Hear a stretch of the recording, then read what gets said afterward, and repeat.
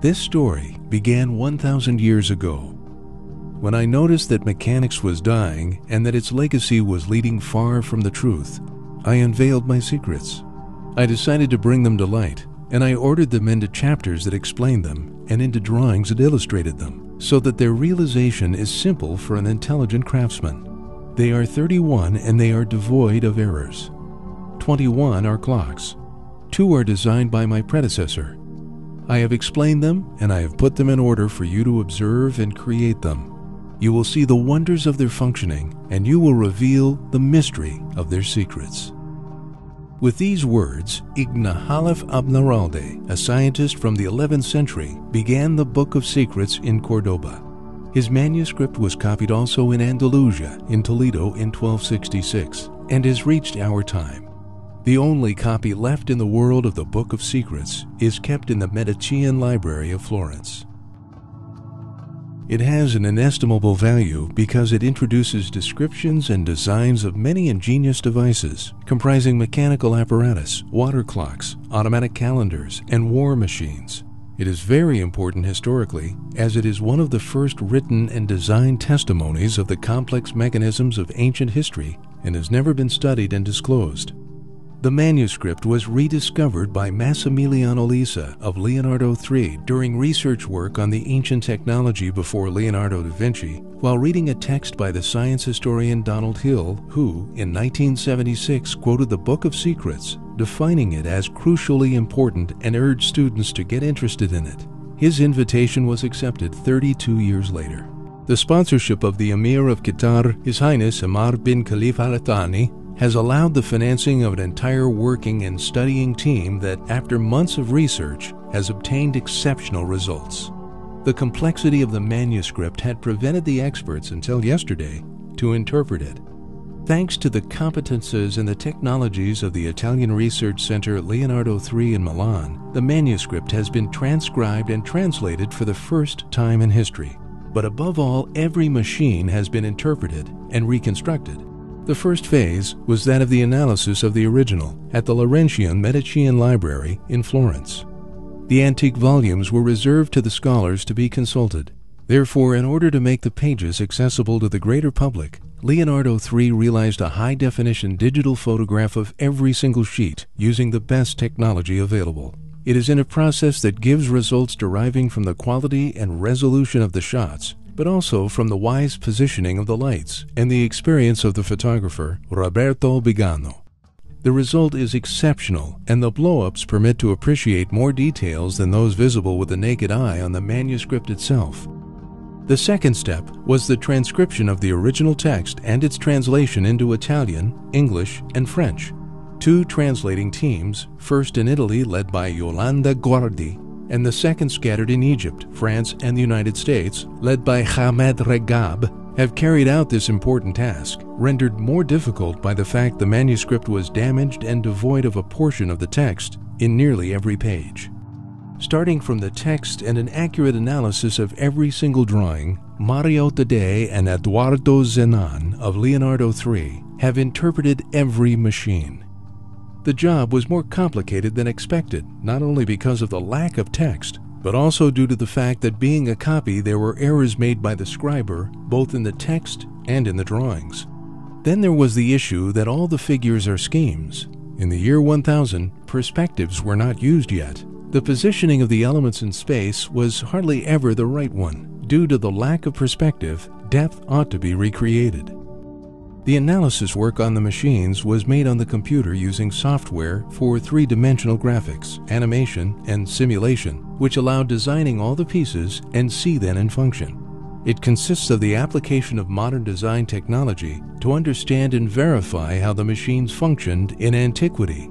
Therefore, it has been possible to understand the models and to reconstruct them in 3D thanks to continuous feedbacks between model and text. Once a mechanical or geometric hypothesis was generated, the construction was attempted, the functioning verified and matched again with the text. This process is iterative for each component and must be restarted at each fault step or incongruity until the machine is created and functions respecting the text with just a minimum degree of freedom. Obviously, more hypotheses are possible for the reconstruction, and the final one is chosen based on the simpler and most correct functioning. The digital reconstruction is followed by that of two physical models in a reduced scale the Fortress Demolisher and the clock with three characters. Everything was carried out within the model workshop of Leonardo3, thanks to the work of about 15 people. For the Fortress Demolisher, something like 3,000 small bricks have been made by hand. The reconstruction commenced from a wood structure, simulating a true medieval tower. Even the arches are bearing. The inner paving is in wood. The construction of a tower was attempted by making it the most precise and realistic as possible in order to recreate effectively its destruction, arranging correctly the bricks fallen around the machine. The finishing touches of the extensible mechanical battering ram are detailed, and it was realized so that all the mechanisms were functioning even if for preservation exigencies the exhibited model is static. One of the main references used was the naval engineering of the year 1000. The sketch is a simplified representation with all of the main elements on the same level. In the center, the marked line represents the battering ram to which two ropes are attached and can be seen reaching from above and from the lower part of the center. The four scissors-like structures are placed around the center base and are made up of six elements, each that are represented by two parallel lines. The study of the model requires also a sheet pertaining to another similar machine. Here it is possible to see the base structure, the wheels that touch the ground, and the position of those connected to the structure. The assault machine uses a mechanical structure to create a mobile battering ram that moves from a height. A four scissors system allows the advanced plan to raise itself until it reaches the desired height. This occurs by setting the four rail mechanisms in action. The upper level is initially hidden by the walls and reveals, when rising, a large battering ram. The battering ram is very heavy and balances with a system of ropes that permits oscillation. Another rope and pulley system manages the movement. When pulling a couple of ropes from below, the battering ram moves backwards and is then released in order to collide against the walls in front. The physical reconstruction has demonstrated that this machine really worked. The second physical model is the clock with three characters. The figure of the machine is practically intact. Two tanks in the higher part can be noticed, as well as the big main wheel and the secondary gears. In the lower part, the two mercury scales that control the movement of the two male characters are visible.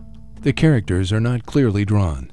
At the strike of every hour, they animate and interpret a scene. The first one to move is the seated man with the astrolabe in his hand, which turns his head towards the woman located on the door threshold. The standing man moves towards the woman, and when he reaches her, a pebble falls from her mouth into the man's hand. With the pebble in his hand, the man returns to the original position and lets the pebble fall in the container. The number of pebbles indicates the time. Instead, the inverse movement is controlled by a mercury scales that, tilting over on the opposite side, brings the head back to the original position. The big upper wheel, divided in 12 sections, lets a pebble fall at every hour. This pebble goes through a small tube located in the woman's nape so that when her mouth is opened, it falls in the man's hand. The mouth opening mechanism is operated by a bar located on a sort of carriage that moves the man too. When the bar meets the cord connected to the woman's jaw, the mouth opens and the pebble falls. When the man moves away, counterweights move the jaw back to its original closed position. The man is located on four-wheeled carriage moving on rectilinear rails. The movement is activated by a pebble that falls every hour on a plate positioned on a mercury scale. When the latter begins to tilt, the man moves. The cord that joins the scale to the carriage on which the man is standing is long and is responsible for moving his arm. A weight, located at the center of the machine, keeps the rope tense, preventing it from drooping. The most difficult side of the reconstruction was to insert all the mechanical elements correctly in a limited space. Even the simplest movements hide mechanisms rendered more complicated by the synchronized movements of the many elements. The combination of cold mechanisms that had to remain hidden and the beauty of the part visible to the spectators is particularly fascinating. In order to introduce the Book of Secrets to the greater public, Leonardo3 has realized this exhibition and has planned every element of it. In the first place, in order to allow the public to browse through the Book of Secrets directly, a digital interactive manuscript has been created by using the L3 digital codex technology, which had already been used by Leonardo3 for the Leonardo da Vinci manuscripts obtaining a worldwide success. All the machines are animated, and it is sufficient to touch a figure to see its 3D interpretation appear, making it immediately comprehensible. By touching the text, it is possible to read the translations or the transcription. The chosen interface is L3 flat table technology based on horizontal touchscreens in high definition. One position is instead based on the holographic projection combined with the touchscreen, high definition in this case too. Every single element has been studied ad hoc, and advanced technologies and methodologies have been used. Another absolute innovation is the digital restoration of the manuscript. The pages have been cleaned up and reconstructed, and the lacking parts of the drawings have been added, in the same way lacking parts of text have been highlighted with dots. An edition comprising a casket with a book, available in Arabic, English, French, and Italian, facsimile, and a DVD-ROM concur to the diffusion of this work throughout the world. The entire project and the exhibition are financed by the Qatar Museums Authority, directed by Abdullah Al-Najjar. Already a thousand years ago, inventors and engineers succeeded in making incredible self-acting machines work, laying down the basis of modern mechanics. In many cases, these were true works of art. It is a universe in wide part still to be discovered.